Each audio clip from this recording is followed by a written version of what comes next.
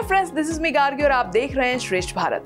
उम्र बहत्तर, लेकिन एकदम मॉडर्न हम बात कर रहे हैं 70s और 80s के दशक की सुपरस्टार जीनत अमान की। जीनत टैलेंटेड तो थी ही, लेकिन अपनी खूबसूरती और बोल्डनेस की वजह से वो उन दिनों काफ़ी सुर्खियों में रहती थी। लेकिन एक बार फिर उन्होंने सुर्खियाँ बटोरी एक स्टेटमेंट देकर। जीनत ने हाल ही में कहा कि हर किसी को शादी से पहले लिव इन में ज़रूर रहना चाहिए।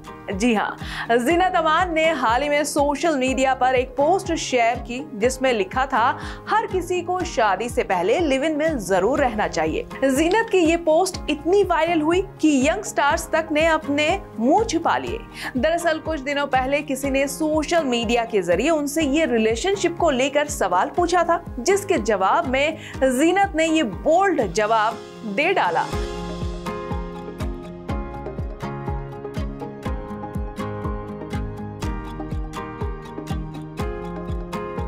वैसे जीनत बहत्तर की है, पर अपनी अच्छी पर्सनैलिटी के कारण आज भी लाखों लोगों के दिलों पर राज करती है।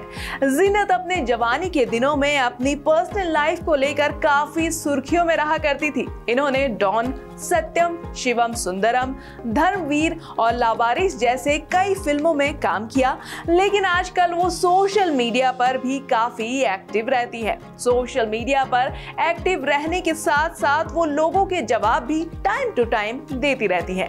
बस किसी के रिलेशनशिप के सवाल पर जीनत का ये जवाब काफ़ी था, जो ये दर्शाता है कि वो आज भी उतनी ही बोल्ड और खुली सोच वाली है, जितने की वो पहले हुआ करती थी। जीनत की ये सलाह ना सिर्फ़ आम जनता के लिए है, बल्कि अपने बेटे के लिए भी है। पर अब सवाल ये है कि जीनत ने ऐसा कहा क्यों?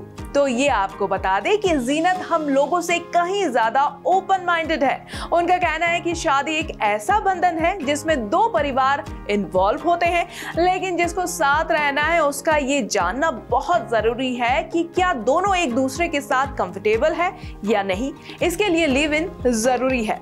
जीनत आगे कहती है कि क्या आप इसके लिए तैयार हैं कि आपको किसी के साथ बाथरूम शेयर करना है?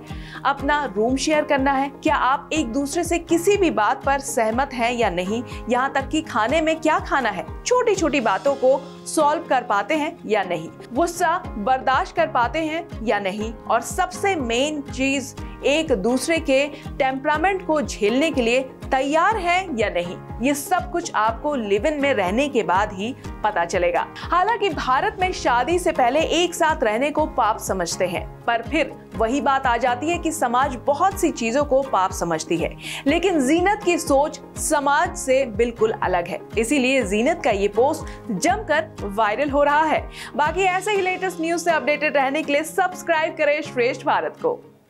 श्रेष्ठ भारत पर खबरों से जुड़े रहने के लिए चैनल को सब्सक्राइब करें। बेल आइकन दबाएँ और देखते रहें श्रेष्ठ भारत।